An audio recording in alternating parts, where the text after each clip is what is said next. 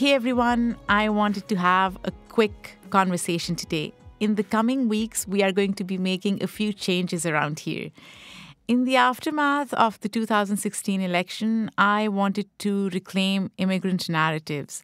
The Alien Chronicles was born out of my desire to showcase the idiosyncratic beauty of America's immigrants, to show that no two immigrant experiences are exactly alike. Since then, the world has changed, and the Alien Chronicles has changed with it.